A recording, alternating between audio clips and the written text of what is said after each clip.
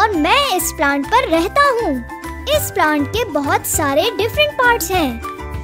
ये है रूट यानी जड़। ये स्टेम जिसे आप तने के नाम से भी जानते हैं। ये है लीव्स यानी पत्ते। मेरा फेवरेट फ़ूड लीफ ही है। ये है फ्लावर्स यानी फूल। कितने प्यारे हैं ना? ओहो, एक पार्ट के बारे में बताना तो भूल ही गया।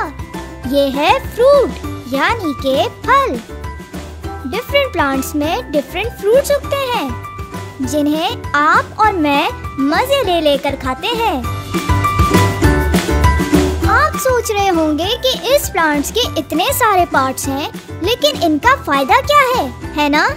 मैं बताता हूँ roots are usually found underground ये ज़मीन के नीचे पाई जाती हैं।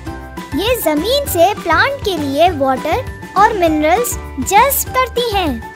और प्लांट को मजबूती के साथ ज़मीन से खड़े होने में मदद करती हैं। है ना, काम की चीज़? अब कुछ बात हो जाए स्टेम की। स्टेम प्लांट का वो हिस्सा है जो ज़मीन से ऊपर होता है। Stem provides support to the plant और प्लांट्स के दूसरे हिस्सों, यानी ब्रांचेस और लीव्स को सपोर्ट फराहम करता है। ओह ओह।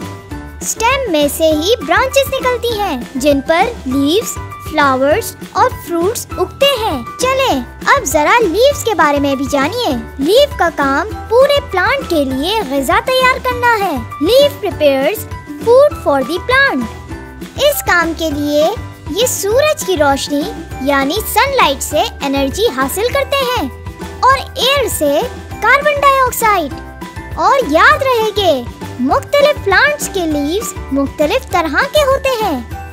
ये देखें, ये डिफरेंट किस्म के लीव्स हैं। Simple leaf compound leaf needle like leaf tooth leaf देखें, ये सब हैं तो लीव्स मगर देखने में एक दूसरे से कितने डिफरेंट हैं। ये है फ्लावर ये प्लांट का सबसे खूबसूरत हिस्सा है। इसकी खुशबू भी बहुत अच्छी होती है।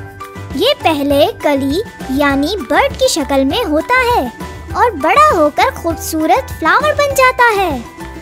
वाओ! क्या आप जानते हैं कि रंग बिरंगे फ्लावर्स बटरफ्लाईज एंड बीज को अपनी तरफ़ अट्रैक्ट करते हैं और यूँ नए प्लांट्स ग्रो करने में मदद करते हैं। फ्रूट्स प्लांट का वो हिस्सा है जिसमें बीज यानी सीड्स पाए जाते हैं। कुछ फलों में बहुत सारे और कुछ में सिर्फ़ एक ही बीज होता है। इन बीजों से नए प्लांट्स उगते हैं। ऐसे प्लांट्स जो फ्लावर्स और सीड्स प्रोड्यूस नहीं करते, वो नॉन फ्लावरिंग प्लांट्स कहलाते हैं।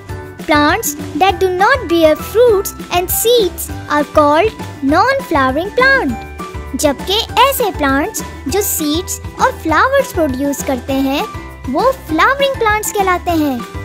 Plants that bear fruits and seeds are called flowering plant. अब आप plants के तमाम हिस्सों के functions जान गए हैं Now let's play a game. Take the text from your teacher and label different parts of a plant present in your surroundings.